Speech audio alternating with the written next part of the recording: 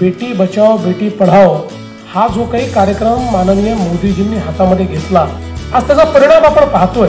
आणि आज देशामधल्या ज्या ज्या राज्यांमध्ये हा लिंग अनुपात अत्यंत वाईट परिस्थितीत होता आपल्याही राज्यातल्या अनेक जिल्ह्यांमध्ये होता आज त्याच्यामध्ये प्रचंड मोठी सुधारणा झाली लोकांची मानसिकता बदलली. आणि आज तर तुम्ही कोणालाही विचारा मी देखील एका मुलीचा बाप आहे. आईबाप असं सांगता मुलापेक्षा आमची काळजी मुलगीच घेते.